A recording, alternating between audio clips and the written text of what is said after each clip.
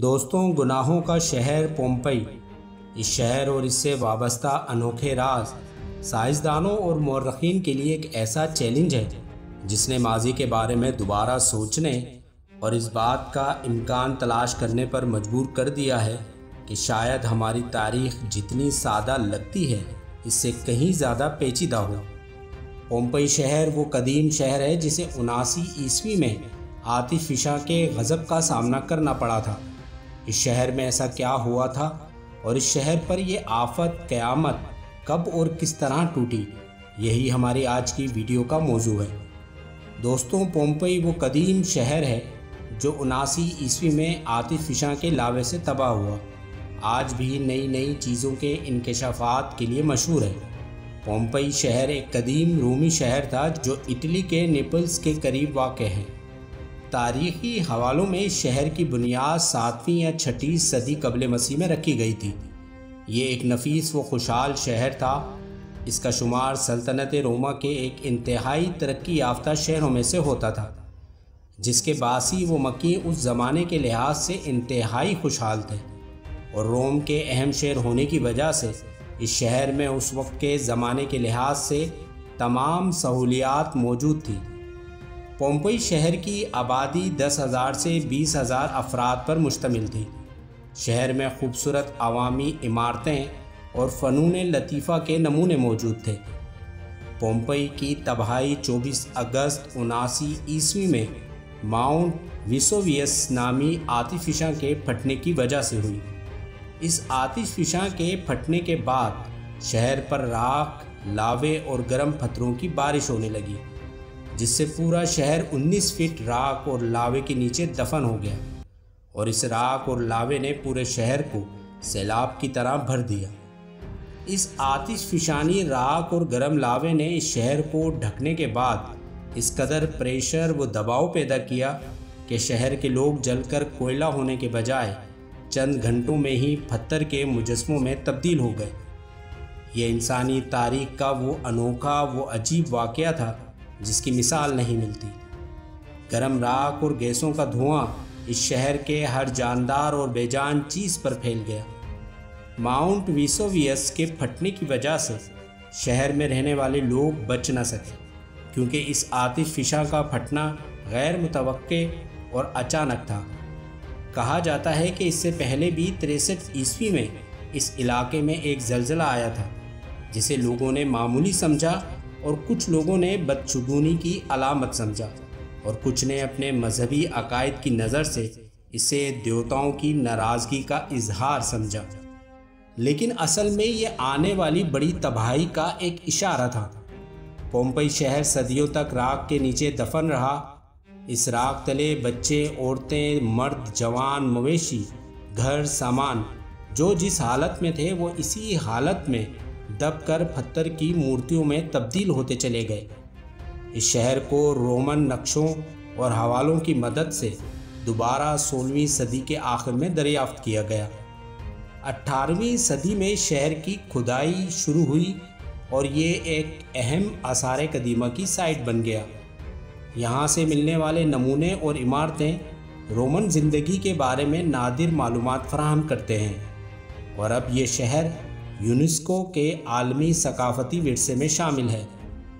Pompey शहर के बारे में अक्सर लोग ये समझते हैं कि इस शहर के बाशिंदे पत्थर की मूर्तियों, व बुतों में तब्दील हो गए।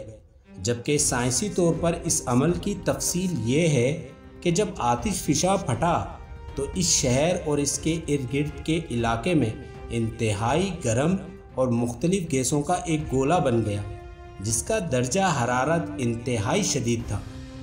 जिसने लोगों को मिनटों में हलाक कर डाला और वो जिस पोजीशन वो हालत में थे, उसी हालत में ही मर गए। मरने के बाद जब इंसानी जिसम सड़ गए तो इंसानी बाकियात की खाली जगह राख से भर गई और शदीद प्रेशर और वक्त के साथ साथ ये राख मज़बूत होकर पत्थर जैसी शक्ल इख्तियार कर गई और यूँ पोम्पई शहर के बाशिंदे राख के सांचों में महफूज हो गए। इनके ऊपर पड़ी राख और लावे ने इनके जिस्मों को हवा और नमी से महफूज रखा और इस तरह राख की परतें सख्त होती गईं और अजसाम की शक्ल बरकरार रही। पोम्पई शहर की तबाही इंसानी तारीख का एक अलमनाक वाक़ था। इस तबाही व आफत ने लोगों को फरार होने का मौका तक नहीं दिया और चंद घंटों में ही ये पूरा शहर सफ़ाई हस्ती से मिट गया। और कई फिट लावे व राख के मलबे में दफन हो गया। पोम्पई शहर से आए दिन आसार कदीमा के माहरीन नई नई चीज़ों की दरियाफ्त करते हैं। 2019 में खुदाई के दौरान रोमन ख़ानदान के घर एक खुफिया कमरे की दरियाफ्त हुई। इस कमरे में मोरें, पेंटिंग्स और लकड़ी के फर्नीचर के बाकियात मिले हैं। इसके अलावा साइंसदानों और आसार कदीमा के माहरीन ने पोम्पई शहर में कुछ अजीब व गरीब चीज़ों को भी दरियाफ्त किया, जो इनके होश उड़ा देने के लिए काफ़ी थी।